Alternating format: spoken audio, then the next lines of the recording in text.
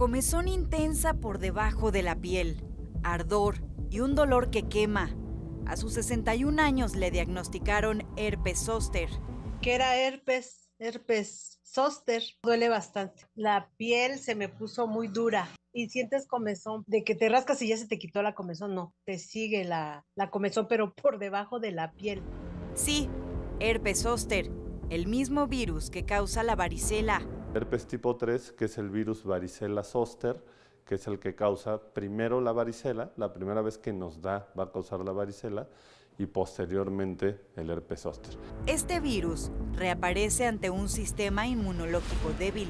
Por enfermedad, por edad, por estrés u otras causas, este virus puede salir de control de este ganglio y entonces brota estas lesiones de herpes zóster.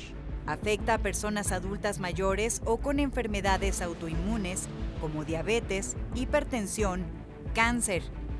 No es común en personas de entre 30 a 40 años de edad.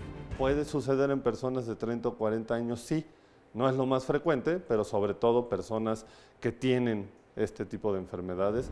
Los tratamientos incluyen analgésicos y medicamentos antivirales, pero también hay dos vacunas contra el herpes zóster. Se pueden aplicar antes o después de la enfermedad. La vacuna del herpes se recomienda su aplicación a partir de los 50 años a todas las personas y también se puede vacunar a personas a partir de 18 años si tienen mayor riesgo de presentar la enfermedad. La vacuna contra el herpes zóster no suele funcionar para prevenir el herpes tipo 1 y 2 que suelen presentarse en la boca o en genitales. Con imágenes de Jesús Colín, con uno, Melina Ochoa.